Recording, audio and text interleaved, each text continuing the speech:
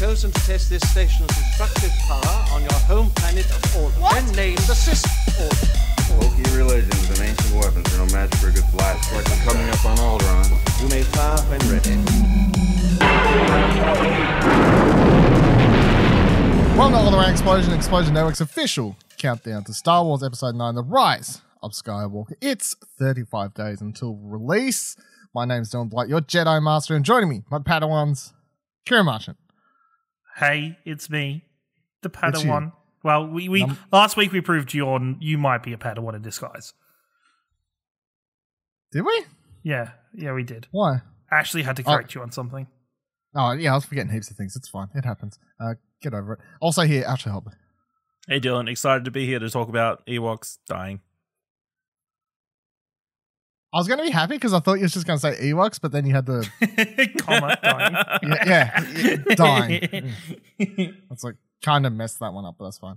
Um, so yeah, this week on the show we are talking about the last of the original trilogy, Return of the Jedi. So let's get into it. As always, Ash, when was the last time you watched this? How do you feel about it now compared to then? I mean, uh, again, it was probably two years ago when we did this show. Um, I don't. It's fine. I don't. I don't love it. I don't hate it. I mean, it's it's good overall, but uh, it. I don't know. It just didn't capture my interest this time. I would whether it was just because we were doing deadline or not, but uh, I know. Yeah, it, it is good. Obviously, there's cool moments. The Endor stuff, the final battle with the Emperor. This is like the first time we see the Emperor like proper like in person as well, which will probably Yep. be relevant coming with nine. Um, There's a lot relevant in this movie. Yeah, there's a lot relevant- The Death Star. potentially relevant. Yeah. uh, which makes sense because it, it, again, it's going to be echoed in nine. Probably, it's going to be a remake of this kind of. I don't think it's going to be a remake of this. There'll it's be just using Lin- links, but yeah. links because it's a sequel to a movie. So there are And man, links. That song at the start of the in Jabba's palace, bad. Oh, so who who sat down and was like, you know what? This this enhances the viewing experience. who did that? Because they're on. I can tell you who it was. It was George Lucas. There's no if, buts, or who about it. We know who it was. Yeah, but Uh, somebody had to have been able to stop him, right? Right. no, that's that's literally the thing. Ciaran, when was the last time you watched this, and how do you feel about it with this most recent rewatch? Um, I felt really good. Actually, I feel better. I think I enjoy this more with you know having watched more Star Wars content and reading more Star Wars content and even just the analysis of the trailer for Rise of Skywalker has made me more interested and more excited about this movie in itself. So I think retrospectively, this is like probably the best viewing I've ever had. I feel like I've seen Return of the Jedi fairly recently because for some reason it always seems to be the one that's on random like free to air TV whenever like they're doing some random Star Wars showing or whatever. So Really, it's always a New Hope that I always see on. Oh, really? I always see Return, and it's just there, and I'm like, okay. Um, I think the only thing I always think this movie's really long, even though it Yeah. not It feels really long. Like the first act feels so slow, and I don't. The rescue. yeah, like the whole rescue at Jabba's palace just feels really slow. I d- I d- Well, it It's does. always funny because it's take a like long that time. all feel that all feels like its own sort of episode thing that's happening, and then they go to like, and now we're going to finish off the tril- like this this these movies somehow, and we're gonna get to the Emperor and all this sort of stuff. But they're like, fuck, before we get there, we have to rescue Han. So like they do the opening part, of course, yeah. Um, let's jump into my notes. Don't So- you want to give your overall feelings I was the gonna say, yeah, go for it. Fucking Oh, Dylan. How um, do you feel? When was the last time you watched it? I watched it like I think I watched it like a year ago or something like that probably. Um I d- I feel good about it. I enjoy watching it every time. I don't want to spoil. I don't want to give away too much because then I'll spoil my placing. I feel if I. Well, I think we all anybody listening. I to think I remember round, your know. you from last time, so I think I remember where this is going to get placed. But you know, carry on. Dun, dun. Uh, no, it's, So it's go a- back it's and a listen to that episode, and then you can listen to the rest of this episode. Just Just go spoil yourself. Go back there. if you want to. Yeah, The want to. heart of a hero. The courage of a rebel. The strength of a leader. The loyalty of comrades. The power of the Force. Uh, so I started my notes with just by writing down the quote of "I'm out of it for a little while, and everyone gets delusions of grandeur," which is just my. It makes me laugh every single time because of just the delivery um, from Han when he's saying the line after he gets rescued, and it's like Chewie's obviously like saying to him in Kashyyyk, he's just been like, yeah, "Luke's gonna come. He's a Jedi now. He'll save us all," and Han's like, "Jedi." Uh, Delusions of grandeur. I, He's- I he's will been- say, he's been out of it for a year. compared to your comments last week about Mr. Han Solo, I love He's Han good in this movie. I this love movie, Han in he's this movie. fantastic. He had a lot of time like to think in in that Empire. carbonite. So Well, what? what? I don't know you if know, you can think of when you have That's a good question, disability for a little while, it puts changes your perspective on everything. what? Because he's like What blind, isn't he? At the start of the film, you can't see anything. Oh, okay. Yeah. Do you reckon they're Han going to is a lot Do you, better- do you reckon they're going to fix that process for the Mandalorian? Well, I, well, I, they probably refined it. I don't know if they'll cover that as a factoid necessary for the viewing experience, but maybe. Maybe. Um, I yeah no, I, I enjoy Han a lot more in this movie. I find him funny. Um, he's still the scoundrel or whatever that. I, to me, he's still the scoundrel in this. He just doesn't come across as as big of an asshole. Which, as we discussed last week, it was like, oh, but being an asshole's part of being a scoundrel. But I'm like, yeah, but like, there's a line that I prefer him just to where I'm like, eh, you're no fun anymore. And then this, I feel like he gets his smart ass remarks and like all this sort of stuff that comes with the scoundrelness, but at the same time, he's not being like super somewhat assholey slash sleazy in this. Like, just kind of skip ahead. I like. I think there's like a moment of growth that I really like for Han at the end where. Uh, when he's layers out and layers uh, just been told, Luke's like, you know, you're my sister. I got to go face Starfader. He's our father. All this stuff, and Leia, of course, is like in shock and all this stuff. And then Han comes out and then does his whole like sort of jealousy, spits it for a spec, and he's like, "Oh, but you'll tell Luke about it, would you?" And he goes to talk, turn away, and he's like, "Whatever." Then like puts his hand up, but then he like stops in his tracks, and he literally like turns around. He walks back up to Leia, and then he's like, "I'm sorry." And then she turns around, like talks to him, and then they they embrace and all that sort of stuff. So I, I always take that as like a moment of growth. For, like that shows a big difference for Han. Like he's literally like he does his usual. He's like, whatever, screw you. Then goes to walk away, but then he's like, no, actually, I really like this girl. I'm going to turn back around and apologize and um continue there. Whereas uh, in Empire, it's all the like, as I was saying last week, the you know, daughter, princess, you love that I'm a scoundrel. All this stuff, like apologizing, doesn't seem natural to him, but it, yet he is. So, I think that's the. As much as uh, Harrison Ford always says that Han Solo got the least growth in the third film, which is true out of the, the main three. Well, to be fair, the other two are dealing with family revelations and whatever else. I, st- I still think that you can tell he's grown somewhat, like as a person, especially when it comes with interacting with Leia. Yeah, I can't remember Um, if we discussed this before. Is everybody working in tandem, or did Leia infiltrate it like by herself? I think they have they have no idea that Luke's going to do what Luke's doing. I think Luke But he is sent independent C-3PO and of R2D2. everybody else. but uh, Mm. Would he though? How? What? Wait, Luke sent R two D two and C three PO. Yep. Really? I would have thought. think- I- R two D I two shows a message of Luke. well, that's true. That's very It's- true. it's one big plan that they all put together uh, in, as far as I'm aware. I'm pretty sure that, uh, and you know, I mentioned last week how they're rebooting the Star Wars comic and it's going to take place place between episodes five and six now.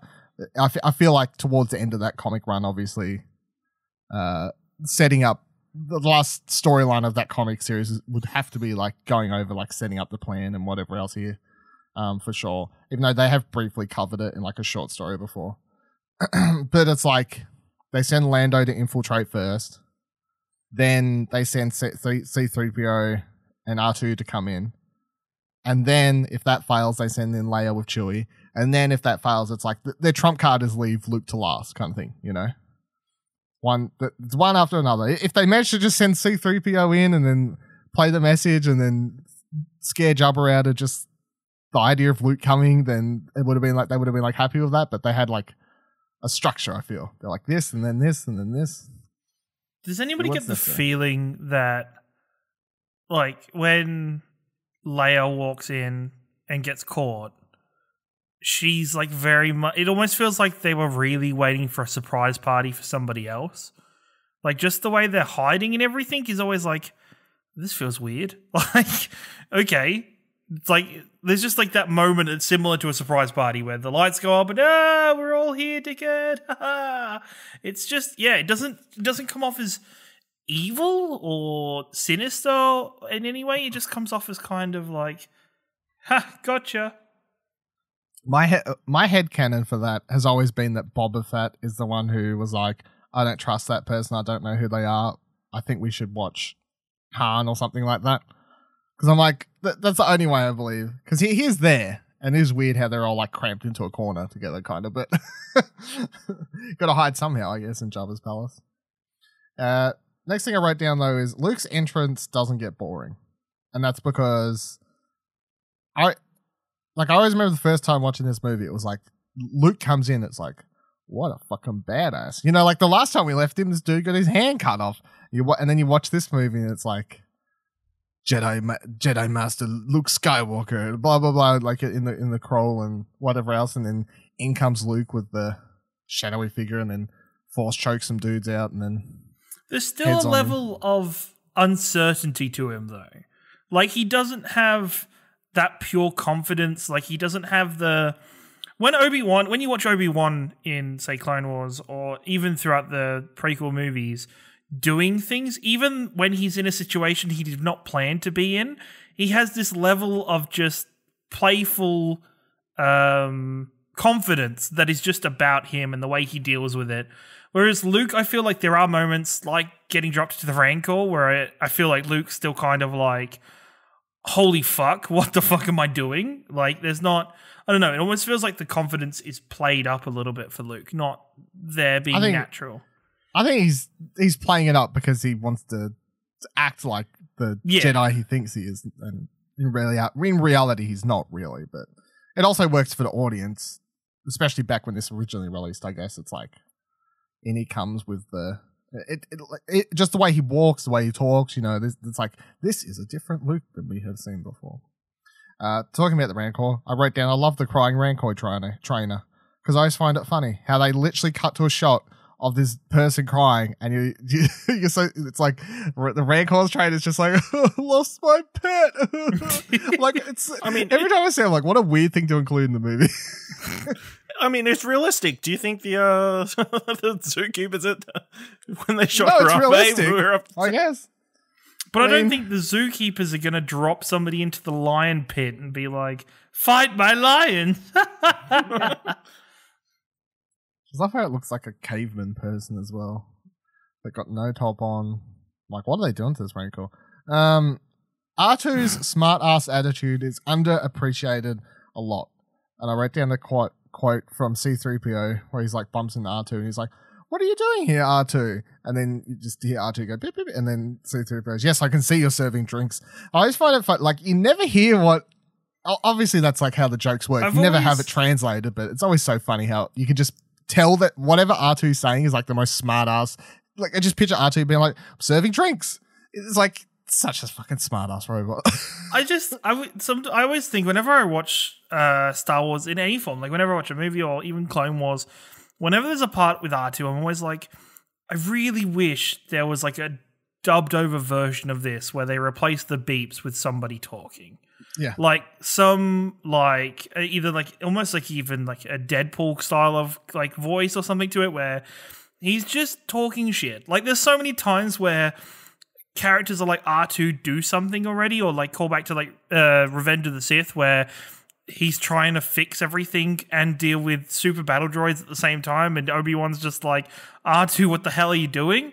I just feel like his responses there would be very quippy and very funny and just overall I think it'd be really fun to watch. But Yeah, I always same picture yeah. in those moments where he's like there's shooting happening everywhere and he's trying to get their files. It's like, hurry up, I do. I just picture him being like, fucking coming, just shut the fuck up. I'm coming, just can you not see? like, Just give me, give me a fucking second. Just I'm give- dealing give with a crisis Yeah. here. yeah, so ch- chill out for a second, everyone. Jesus. Uh, yeah, so I always find that funny. Uh, next thing I had down is fucking hilarious how Boba Fett goes down. What a nub nub. Where are we at the return of Boba Fett thoughts these days?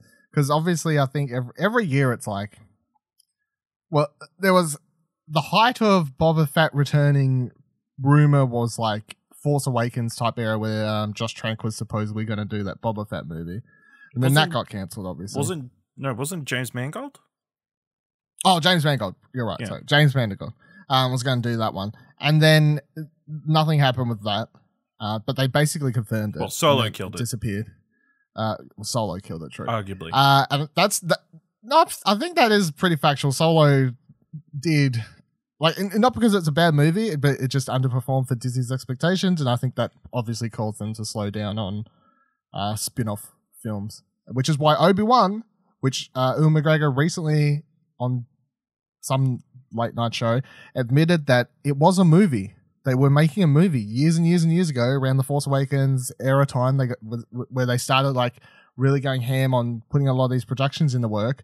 Uh, they were that's when they started originally having the talks about the Obi Wan movie, and then that's why he's had to lie for so many years about it because it's like he he knew they were doing something, he just didn't know when it was actually going to happen, and he said years and years and years back that he agreed to do it, and then obviously because of Solo, they decided movies isn't the, probably the way to go for spin off Star Wars material, at least for the uh, foreseeable future at the moment, and that's why Obi Wan has now they've taken that script and they're extending it into a uh, series. So they could possibly, if they still, if they had written anything for a Boba Fett thing, which we don't know if they'd actually started writing anything, or even if they had like a story outline of what it was going to be, and we never had confirmation if it was supposed to actually be about him like surviving the Sarlacc pit or anything like that. Uh, but if they did have something that could extend it to a series, uh, but how do we how do we feel about it these days? Because every time I watch him go down, I'm like, fuck, fuck, he goes out like a loser. It is hilarious. Han just literally, Han literally just swings around like, what? like, and then kills him, basically. and off he flies. I mean, the, hits the Some of the and- best people just accidentally get killed. So it's hilarious. Uh, but I, I'm not super against him surviving the Sarlacc pit because it's like the whole thing of the the Sarlacc is it's like it's something that's supposed like it's supposed to slowly. They they mention it in the movie. It's like slowly digest you over X amount of years. And so it's not like even if he went into it. Like if he dropped in, you you're not going to die instantly, and they could do some weird storyline where he quick fixes his jetpack and he manages to like burst out like shortly after Luke and everyone leaves. well, kind I of mean, thing. if like, he's got years, he's got plenty of time to. yeah, so I, I, I don't think. Bur- the I'm not against him surviving. Yeah. Yeah, um, I know I- George Lucas at, one- at one point thought said that in his mind he survived the Sarlacc pit. So yeah, I desperately hope that he's not in the Mandalorian at some point. Because I- yeah, I it, don't that'll be him. super tempting for them to do. well, Jon Favreau wanted that show to be about Boba Fett. That's that's apparently how he pitched it. He's like, I want to do a show about Boba Fett, and they said, I mean, it could No. be about Boba Fett. Yeah, we still don't know the dude's name, but I would find it very weird if like Pedro Pascal's playing Boba Fett, and I also think having that character suddenly revealed as Boba Fett would ruin that character. Like I, I, it's like here's a new character. The first live action Star Wars show is a spin off starring a brand new character, all these brand new supporting characters, etc., etc., etc., and then they reveal at the last seconds that it's actually Boba Fett being played by Pedro Pascal. Nah, It would and also he's way too young.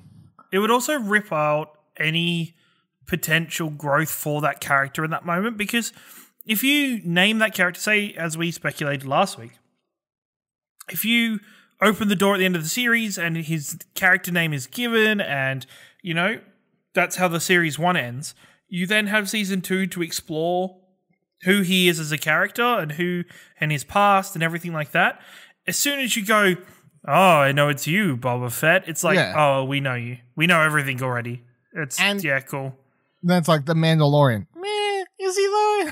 he's not really I I I have a special place of just disdain for Boba Fett. And I think it's just because how I've consumed content for Star Wars that I I just think he's really overrated. Like everybody loves him, but he does fucking nothing. Even watching Clone Wars where you see him as a kid, you're like you're just a fucking snotty nosed brat. Like you are just annoying as shit. Like I don't you just he's just not a good character. Which is sad because you know there is the elements of you could have been a good character. You could have been Well, he interesting. doesn't- He doesn't have the opportunity to do anything interesting. So Exactly. Exactly. Like and there's there's a lot of I think in terms of general character development, apart from the select few, overall the original Star Wars were fucking terrible at any kind of character development. Like it, just just from just from a pure writing standpoint, and I just think that shows for the time George Lucas's writing capabilities of a script of script and actually writing the story wasn't that great. Like wasn't Well, he, that he also was was never com- he was swinging around and changing his mind about things constantly and never sticking down to like uh, a certain story. Like at at one point in time when he was originally planning his Star Wars movies as three separate trilogies, where he was going to do this one, he was going to do the prequels, and then he was going to do the the sequel trilogy. When he was doing that, and then he changed his mind at some point and said, "No, I'll just stick to doing a, a prequel trilogy, and that's it. I don't want to do a sequel to this one." But when he was planning on doing twelve mo- movies originally, apparently he was going to have Boba Fett actually be the lead villain of this, and he wasn't going to reveal the Emperor until episode twelve. That's how he was- Holy shit! That's how he was Holy originally. balls! Yeah. so he also regrets. Uh, he's on record in interviews and whatever, also saying he regrets how Boba Fett dies in this because he never realized uh, how popular the character would be. And he's like, if I knew, if I knew it was going to be so popular, I would have made sure he had a, a lot more interesting death. like, but he never knew. it is always funny. You gotta remember the character comes from the freaking star uh, Christmas holiday special, so where he's uh, riding on whatever creature with the the weapon um, that's making it show up in the Mandalorian. But this is a good point. I was looking for a point to put this in. I didn't. I, I was like, I had this story last night, as of recording, as of recording now. Last night, I had a dream. This was my legit dream. cool. I can't remember. I can't remember it all because of you know like dr- dreams and whatever else. But I dreamed an episode of The Mandalorian. Basically, is what I can gather. And in my episode, Cad Bane teamed up with the Mandalorian. Who played and, Cad and Bane? also the, the, the, other, the other funny thing about this dream though was it wasn't like I was just dreaming the episode like I was like inside the camera. I was like dreaming it where it was like I was in like a lounge room watching it and I was talking to people. I don't know who was there, but there was people there. And then when Cad, Cad Bane showed uh, up on the screen, I, I stood up and I like cheered and everyone like looked at me. And then I just remember in the dream I went, "It's Cad Bane, motherfucker!" Uh, So I don't know if I have foresight or for whatever reason my brain last night was like, I think you just got wishful thinking there, buddy. I think it was just. Cad Bane. the best bounty hunter in Star Wars is Mandalorian. I don't know what I was thinking about it because I like the, the the last thing I did before bed last night was I was reading a Star Wars book, but I was reading the new Resistance Reborn book, um, which doesn't have Cad Bane in it. But then I suddenly started dreaming about Cad Bane, so I don't know how that works. But anyway, funny little tidbit. Uh, I, I, I, my last note on this is I still think we'll see Boba Fett return because he still s- sells merchand- merchandise like hot so cakes. much merchandise. Um, and as much as like the Mandalorian, they, they may be like it's sort of the same or whatever, but like for for whatever reason, people really like. He Boba doesn't Fett. have a Like, jetpack. The, the, the- yeah, it's like well, it's like the green armor that Boba Fett has. He doesn't whatever. have a It's like- missile that fires like straight up. We don't know. Can I Maybe say, out of out of all of the Mandalorian armor we have seen so far to date, Boba Fett's is the worst looking armor. Like, just I just hate it. I hate the color scheme for it. I'm like, Well, I mean- is- mine is my favorite is the Sabine from Rebels because she like spray paints hers, customizes it, and shit like that. Yeah. So I think that's pretty cool. But in my yeah, opinion, but- no, I think there's a lot of others. Like, I even like the um the Darth Maul versions of the Mandalorian armor when um, Maul is um, Uh, Death- ruling. No, yeah, Death Squ- Death Watch or whatever. the is what Death Watch takes over. ones where he's got where they have like his colors. I think they look really cool. But yeah, just Boba Fett is just he goes out like the chump he was, and then to add insult to injury, he has like a little scream or whatever, and it's Ah! like yeah, it's not good. He just And off he just, falls. oh boy, oh boy. tumbles to his death. um, next thing I wrote down is there's a lot to cover still between episodes five and six, like Luke's training. He obviously doesn't return to Yoda till this movie, but whatever he goes through between the this the two films lets him grow in strength a lot. And then he makes a lightsaber, of course, which is a deleted scene you can see on the Blu-ray. Uh, but then that could be put into one of the upcoming comics as well. Because I, I think I was just thinking, like when he returns to Dagobah, and he's like talking to Yoda. I think I was paying a bit more close attention to the, that scene now with the recent announcement about like the, the comic being set between two movies, where I was like, what does he say? Like, c- could they try and twist it and have it so he returns to Yoda like in the comic? But then he's like s- saying it there, and he's like asks obviously about if Vader's his father, and then Yoda confirms it. It, it definitely feels like he's never gone back to Dagobah until this movie. Like, so th- then it does mean that in the comic, when they're trying to explain what's happened in the year between, you really do have to make that Luke's strength and confidence and force powers and whatever, that is all just him slowly sort of teaching himself a la like Rey, I guess, like self discovery. I don't think he's self-taught. You think he's going to bump he- into? Well, I guess Obi. You could say that Obi Wan's helping him and I teaching think him on the either way. No, maybe. Obi-Wan- Yoda gave him some audio tapes. Maybe. Yeah, either you know, um, Obi Wan. I think he could find another Jedi temple. I think that's Um, a given. Yeah, that and could be. That's through the Jedi thing, yeah. Temple. Maybe it brings in the uh, three people of the Force to kind of come in and train him, or, um, or you know, you hook your boy Qui Gon up, and he's like, "Yo, homie, let's get to the advanced shit. Let's sit back, relax." Light up a few of these uh, space sticks, and uh, let me teach you how teach you how it's done. I mean, it's possible. Yes. He goes back to the, the deleted scene from the Yoda conversation. We've never seen this movie. Smoke death sticks with Qui Gon. You did. Look, Qui Gon was the hippie of the Jedi Order, man. He he knew where the good stuff was. this is true. Uh, next thing I write down is this movie has so many big reveals. Leia's your sister. Bam. Next scene. like it's it's it's always weird to me how. And once again, this I, I feel like this comes back to kind of how I felt about the start of um Empire, where it's like you know Obi Wan shows up as a Force Ghost so so early in that movie. Which, as I was saying when that happened, I was like, this wouldn't happen like this these days. They'd save that as like a much bigger reveal. And in this movie, they do like the whole like how far are we in? Like it's literally after 20 minutes, I guess, the whole Jabba Power stuff. And then he, he pops back over the Dagobah, speaks to Yoda. Leia's your sister. Next scene, they literally just cut to another scene. Like, I, I, it's just one of those things where I feel like if this movie was made today, like that eh, that scene would be like drawn out, much more epic music, you know, close ups, like you know, like sunsets, like give the be- audience lots of time to like sink it Yeah. in. Yeah. It'd There be like be- the Jon Snow parent reveal from Game of Thrones. it'd just be a lot more epic, like the way it'd be edited and everything. But it's just like Leia's your sister. Yeah, all right. Oh, next scene.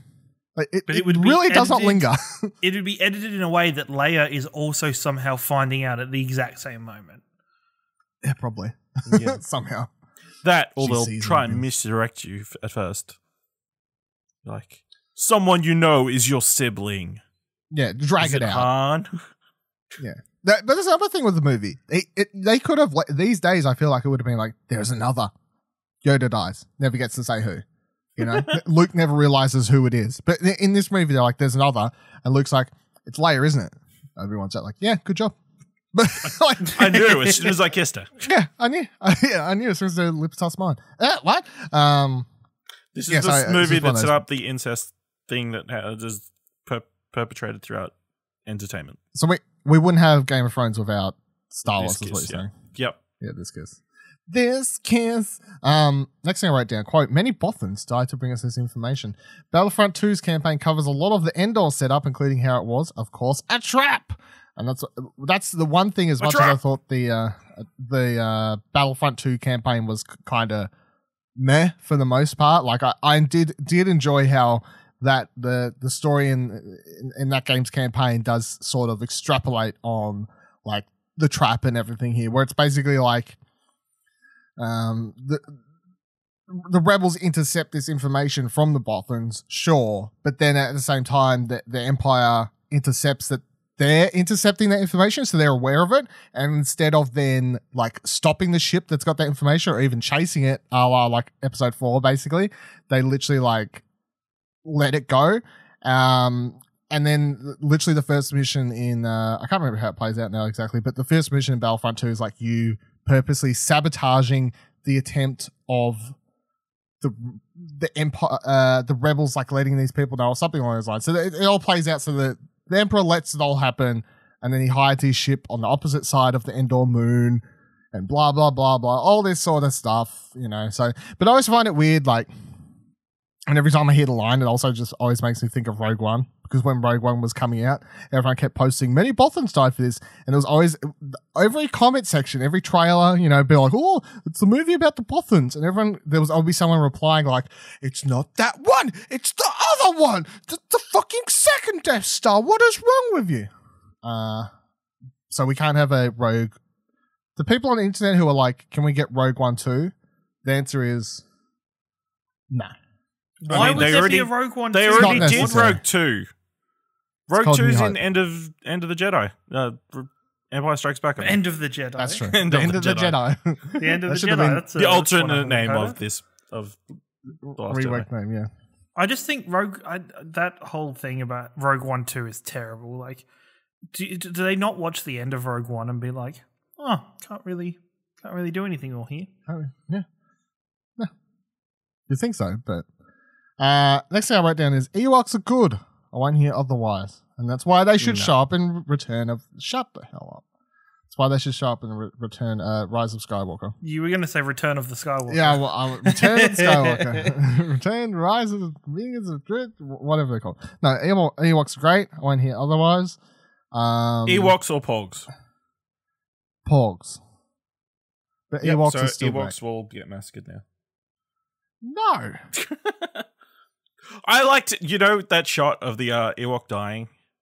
Um, after that explosion, like it, and it, it Yeah, th- they all crash onto the ground, and the other one's Yeah. like, "Come on, mate!" Like goes to grab grab them, and but they won't get up. I, I, I Yeah. do like that scene because it shows like it adds uh humanity to the Ewoks. I like of, to guess. think that's the first time it's ever seen death. Like these are I mean, possibly. These, You don't know these how long they Ewoks, live. These uh, Ewoks don't age, and they No, never. well, they, they definitely age. They show a baby when they're at the village. They show a baby. show a Well, I baby, guess to and an the chief seems really old. yeah, they could be like ancient beings, like Yoda esque, live forever. Possibly, possibly, And that's the first time he's ever seen someone die. possibly. It's a sad scene. Yeah, He goes to grab it. He's like, "Come on, come, on. Why aren't you But they won't. They won't. They won't move. And he's like, "Damn, it's a I need real to wait war here scene. until you wake up because That's this thing. That you- if, the, this if, is if you in- change the opportune time for you to fall asleep." If you change the Ewoks to two like humans, all of a sudden that scene becomes like really fucked up. you know, like they go to grab their friend and like, oh no, no, like it seems like it's, it's a scene from a legit like Steven Spielberg war movie or something. But because it's two teddy bears, it's like people don't get the same feelings, I guess. Or whatever. it's delved back a little bit. Yeah, because they're teddy bears. But also, I, I watching this again, I, I love how Carrie Fisher, how good Carrie Fisher is uh, acting with um, Wicket and stuff. Like, she's just like you can tell that like Leia as a character is like this thing's kind of adorable, but then she's like unsure of it at the same time. Whatever, like the first first time she meets Wicket, I, I really enjoy that scene. The first time she meets Wicket, I think it's good. Carrie's Carrie's really good in this movie. I think as well. I think this is the best movie that she's in, acting wise. Probably. Um, oh, I think she's probably better in like original trilogy. Uh, I'd say because then I'm like, oh, she's so good in I Last think- Jedi. Force Well, Awakens, but- even in the, she doesn't get a lot to do in the last couple of movies. she has a lot in the Last Jedi though. I'd say Last Jedi is probably like like her best performance in all of the Star Wars movies. I'd put this as second. We'll get to it when we get to it. Okay, okay, fair enough. We'll, we'll skip ahead. Skip ahead. Uh, next thing I wrote down is Luke never goes to Vader to have some massive showdown and fight. He goes to turn uh, turn himself in and save his father. His actions aren't uh, offensive. He says his father will have to kill him after he says it's too late for him. And then, uh, just like to tie it back into this, tie all this Luke stuff in together. Luke come when they actually get down to the fight when he starts dueling Vader. Luke comes out swinging as he gets so, gets cl- so close to the dark side for the first time. Rian Johnson recently confirmed a theory online that the shot of Luke thinking about striking down Ben in The Last Jedi was made to mirror Luke having a moment of clarity in this film as well. Luke has struggled with his dark side a lot, which is why that time against Ben, uh, against Ben sends him into hiding. He fears the dark side within him because it's the second time. What could be Isn't there like time. you can just mirror the shot? Like you can just put the one shot into the other and they fit into Yeah. each other. Yeah, Someone- they did like a merge or no, like a, yeah. Yeah. Yeah, it's on twi- it's on Twitter. Um, a dissolve. it's a, yeah at Heather Campbell uh tweeted it. Um, but they got it from Reddit. Obviously, I don't know who did it on Reddit, but yeah, the, the, I never realized this either until I saw the shot. But it was like when when you see the merge, it is like holy shit, that is literally the exact same shot. And then these people are having threads. Uh, this person at Andrew NW Folk or something said, The Last Jedi is the best Star Wars. And then someone replies and says, As much as I like the thought of it, it seems pretty far, far of a stretch. Low angles like those are textbook framing device to portray power as the viewer is placed under them. I'd believe it if Rian said so, though. And then the person replies again says, True, true. Even if it's not intentional, I love that fans are looking into this stuff. And then they tag Rian Johnson, and then Rian Johnson actually replies and says, You're right that some of these parallels are just uh, it's a close up of the same character, but this one was very intentional. It's why I had him look down his, at his me- mechanical hand holding the saber. So I know we're not talking about the Last Jedi, but I felt it was better to tie it in here, basically, and I think it works so well. Like because this Yeah. is the two times that we know of in Star Wars where Luke has had these like very close to the edge of like dark side moments, and they Rian Johnson literally just mirrors the exact same shot from uh, Jedi, and it's it is perfect mirroring. E- even Mark Hamill's face like is the exact same basically Yeah. with a beard. obviously. He had to Obviously, now, lose the but it is- fa- the lose the weight in his face, so his face could be the same size. But yeah, I mean, yeah, it's no, it's it, it, it, it's really really good. And then it like buys into it. It's like Luke's head, Luke's mind here, when he's he's like nearly going to strike down his own father, and you know he's going ham. And th- that's the thing about this fight against Vader compared to his fight with him in Empire. Those two aren't really trying to kill them either e- each other in that fight properly. I don't think that's the thing. Like Luke, I, Luke isn't like strong enough or believe in himself enough when he goes into that fight. Like he doesn't have the confidence, and he's basically on a defensive the entire time. Uh, Vader's obviously just kicking his ass, and I don't believe Vader is ever trying to kill him in that fight. And Luke says as much, obviously, in this movie. He's like, "You, you didn't kill me because you you wouldn't be able to." Blah blah blah blah. Uh, but in in the duel in this movie, whenever Luke's just coming out, he's like fucking yeah, he is going to town like with the full force and kicking Vader's ass left, left, right, and center Well- all over the place. Like, I mean, he's wanting to disarm him, like pun intended. yeah, but like the way he, the way he fights is just aggressive. You know what I mean? Like he's he's It's throwing Darth with, Vader. Uh, yeah, but he's not going to like. Uh, you, you can feel the anger in that fight. I feel just the way he's like, especially when he gets when he chops Vader's hand off. You know that that one scene there, you can really just feel the aggressiveness of it because you have Luke like he's like whack, whack, whack, whack, and then eventually like cuts his hand off. It like it comes across very aggressive. It's like a you know You to someone cutting into a, behind. cutting have into you, a tree. Have you chopped a, a hand off before? They're very difficult. yeah, I pressed L2 once in the game and it did it. So I don't know. I think that counts for a lot. but yeah, I, I um, it's like. There's a moment there, and they have this shot of Luke realizing how close he is becoming. Uh, so close to getting to the dark side, and then obviously in, in the Last Jedi they do the exact same shot again to represent how um, he's feeling there. And I, I know we're not, not talking about the Last Jedi, but it, I, I really just think it adds to a lot to Luke as a character. That he has these two defining moments where he got so close to the dark side, And I, I feel like when we get to Last Jedi, it's like kind of worth keeping in mind that the, the reason he puts himself in seclusion is because he's literally just afraid of himself from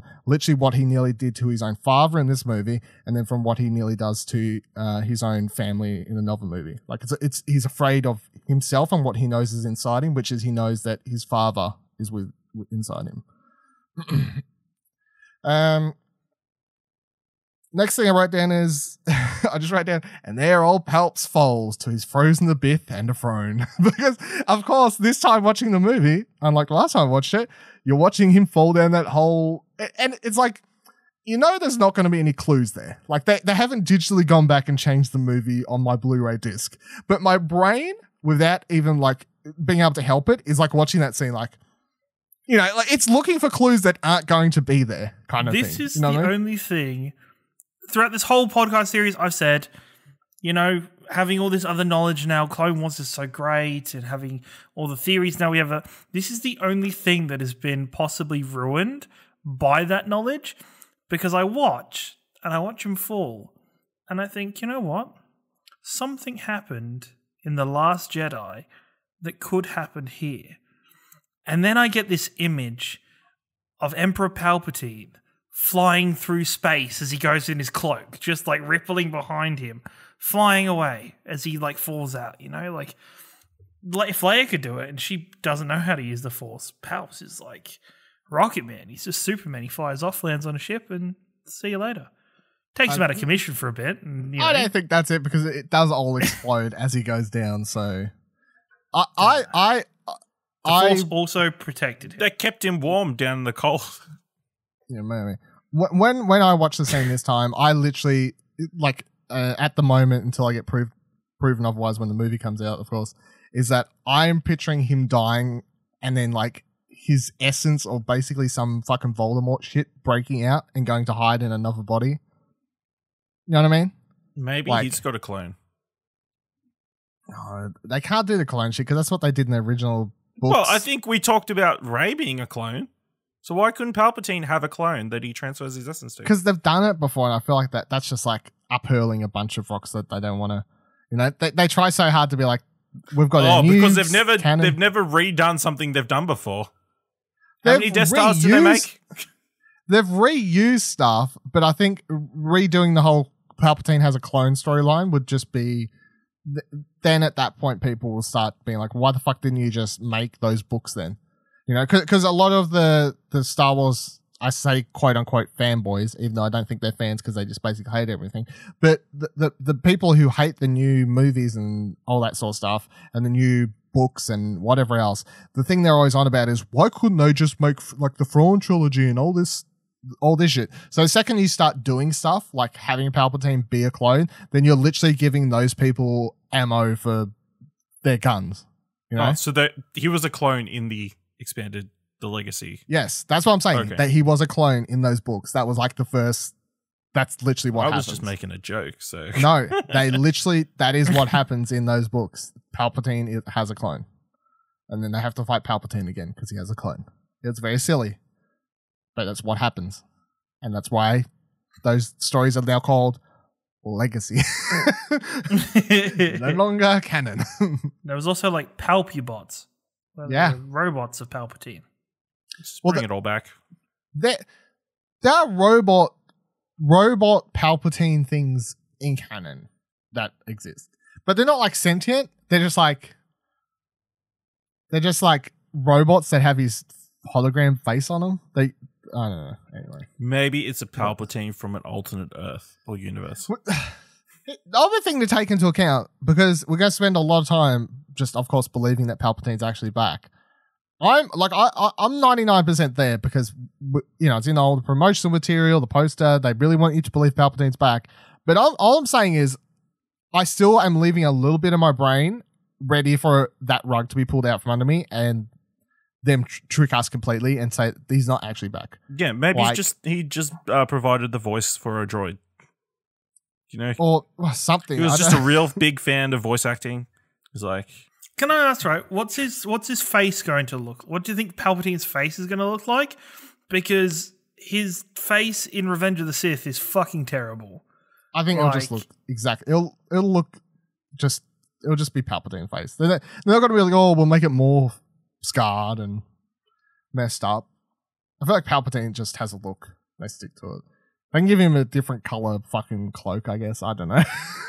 no, but like just his face is just his face is the thing. Because in I feel like well, we we barely see him in the old movies, but he looked reasonably normal. But like the end of Revenge of the Sith, he's just like he looks like he's been stung by a bee.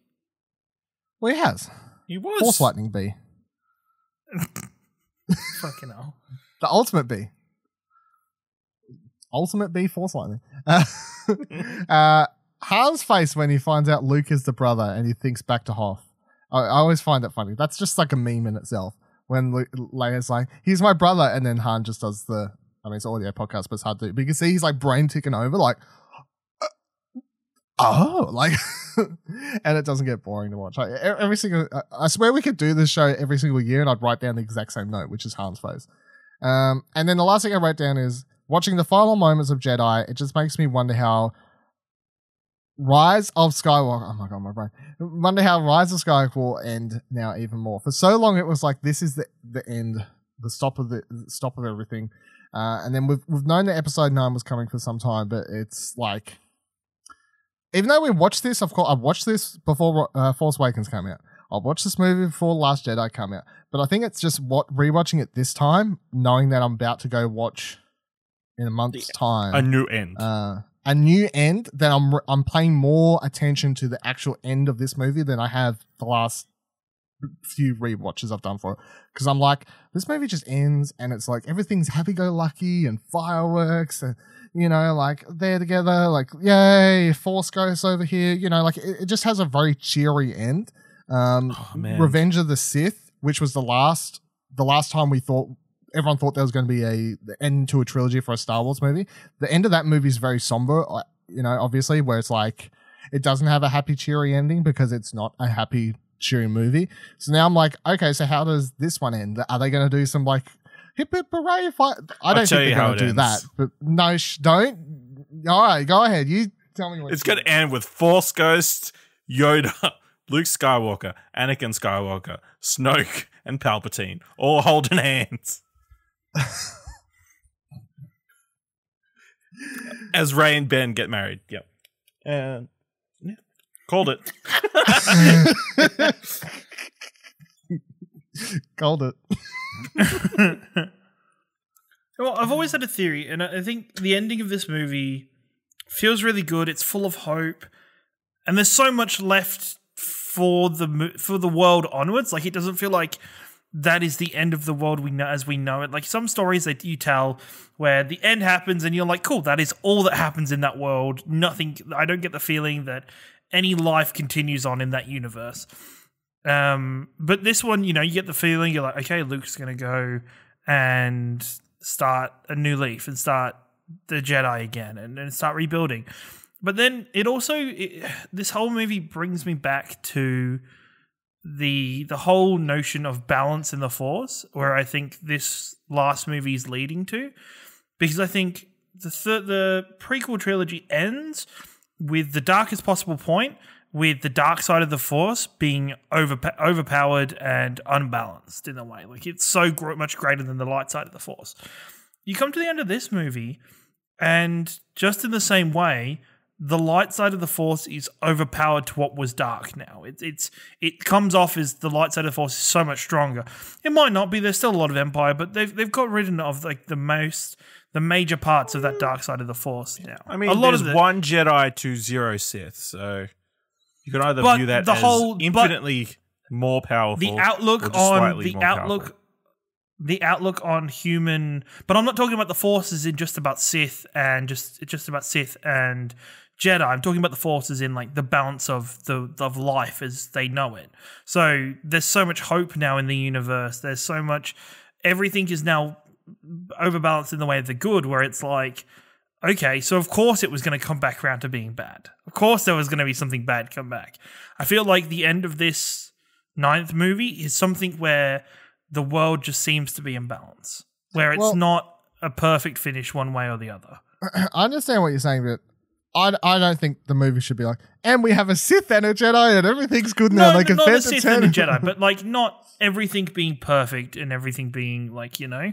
This I'm- movie finishes off like everything's perfect and everything's so Yeah, great. yeah, yeah. Everybody But- dies.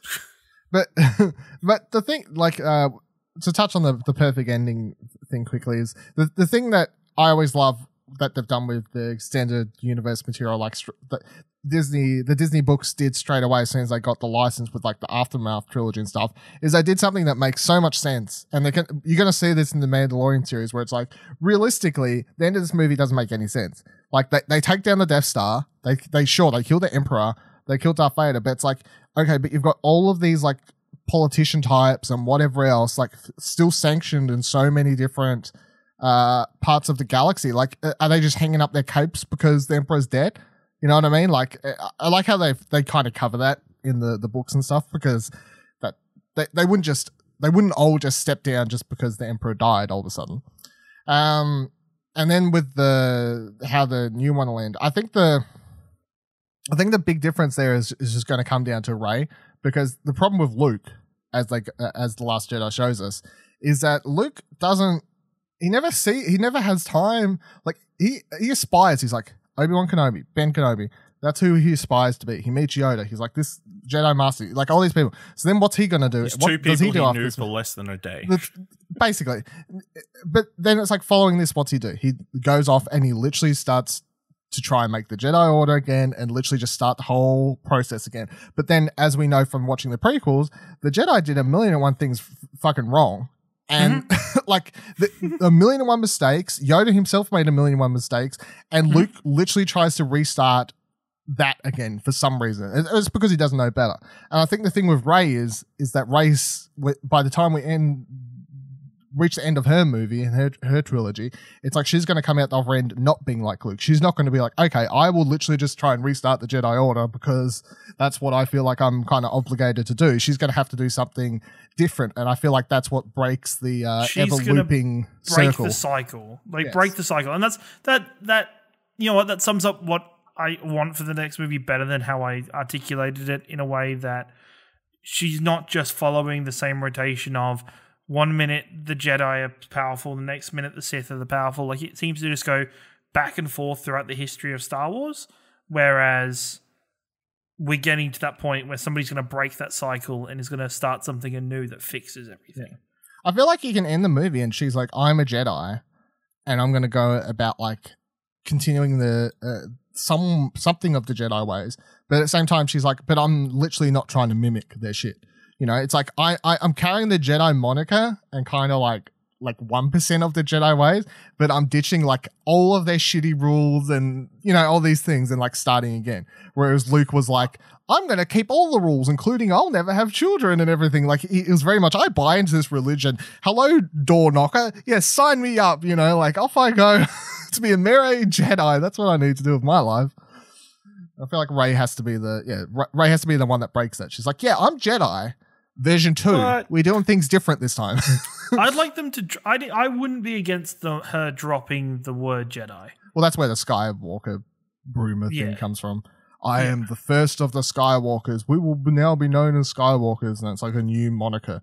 I'm not against the new moniker either. I just think the only the, the only reason I think they wouldn't do that is just because Jedi's like so obviously Yes, So ominous and ingrained into it. known, and yeah, it's like Yeah. Marketing wise. Marketing wise and all that sort of stuff. Yeah, it's just like becomes a, and, and, and then it's like you shouldn't be thinking about that because it's like story wise, if they want to have a new moniker, they should have a new moniker and they should do that for the story. But then it's hard not to think about Star Wars because it's such a big property that you just know that someone would be like, hey, no, like that makes our job harder for like selling toys later. You know, like all these people writing Jedi's, Jedi's their religion in the Australian censuses. uh, They're gonna have to write Skywalker now. Come on, we can't do that. Get the hell out of here. Sure that yeah. the box isn't big enough. That's true. That's the main reason why I should never change the thing. I guess. Fucking hell, Ashley. um, all right, so let's get down to it. Let's start with you, Ashley. Where Get the disappointment out of the way quick. Where would you like? You, you tell me where you want to put it, and I'll put it there, and then We'll see how we go. think I'm gonna put this one at number five. Number five. So that would be moving Empire up, Rogue One up, and then this is going to sit directly above um, Solo for you. Yeah. Yeah? Very close. Very co- oh, okay. Ciaran. I'll, I'll, I'll read everyone's uh, full things in a moment, of course, everyone listening. Karen, where do you want to put this? Um, I think this was the hardest decision of the series so far. Mhm. And it might just be the hardest decision because I think whatever I pick now is going to be my number one by the end. Okay, interesting. And I, I think because I don't think Force So- Awakens so or do you- think putting the next two movies uh, are going to be easy to rank? You're just going to be like, ah, slot them in here, slot them in there. yeah, I think they're going to be easier because I know I know neither of them are my favorite Star Wars movie. Okay. I I lo- I I love Last Jedi, but at the same time, I very knowingly acknowledge a lot of the problems with the Last Jedi. Like there are, you know, Canto Bight is a very it's a What very if- it's a thing I wish just didn't happen. What if Rise of. Skywalker's What if Rise of Skywalker is the best Star Wars movie?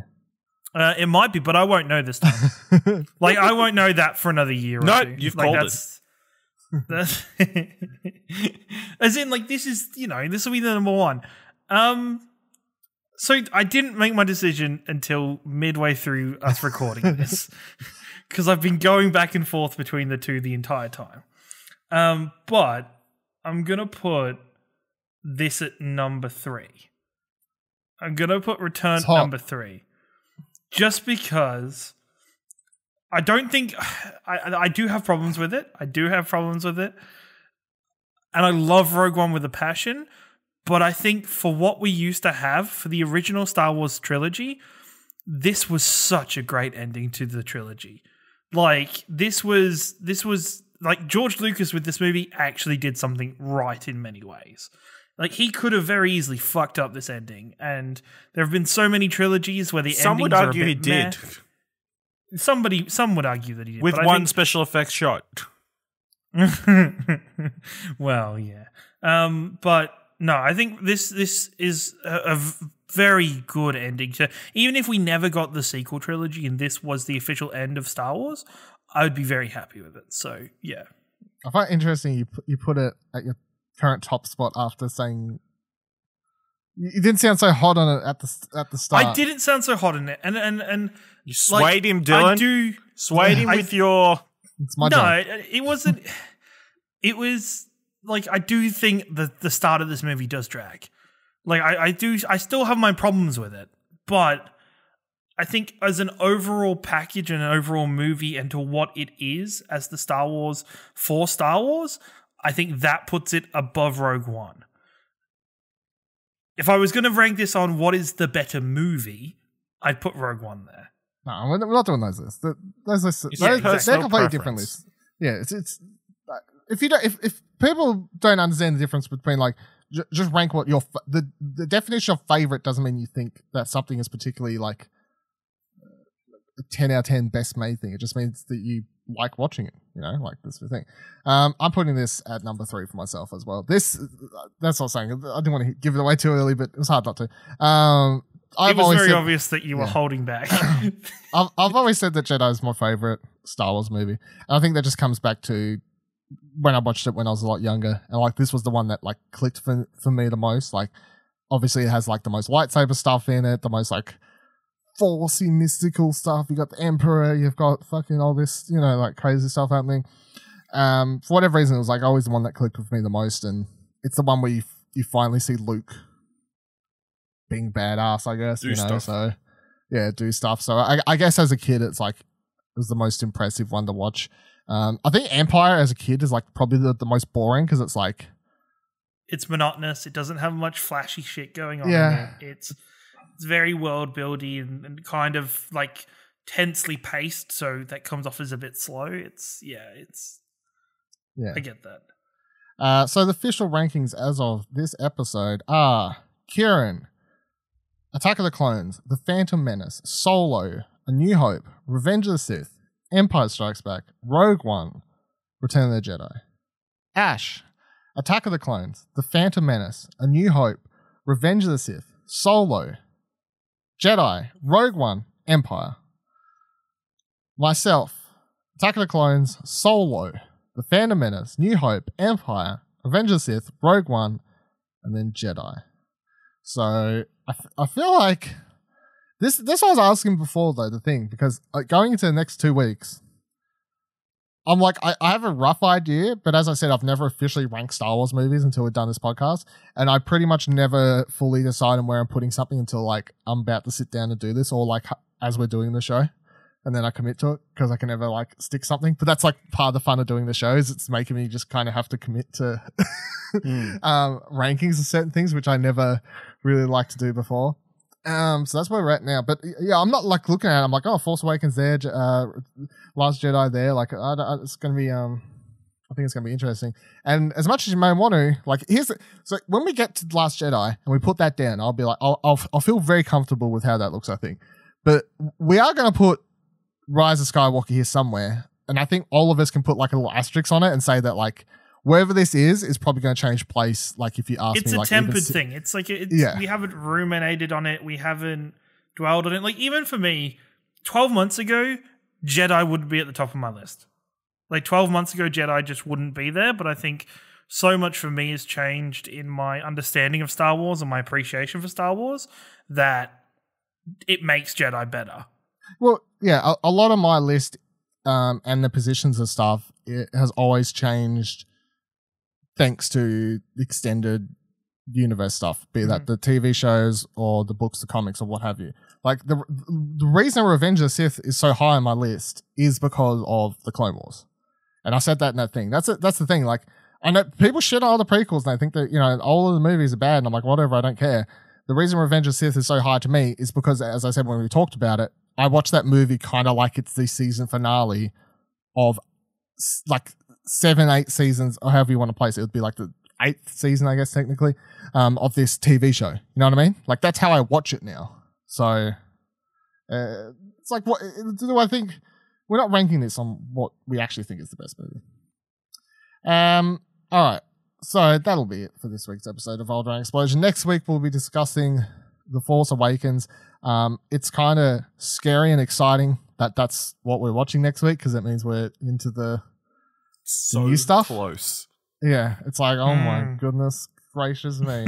um, there there will be there is an episode in between, uh, Force and uh, Last Jedi. Um, there is a, like a break there, but even then, the, hopefully, even then, there's still the fact that we're going. to The next movie I'm watching, uh, next Star Wars movie I'm watching is The Force Awakens. I'm like, holy shit, we're getting so close.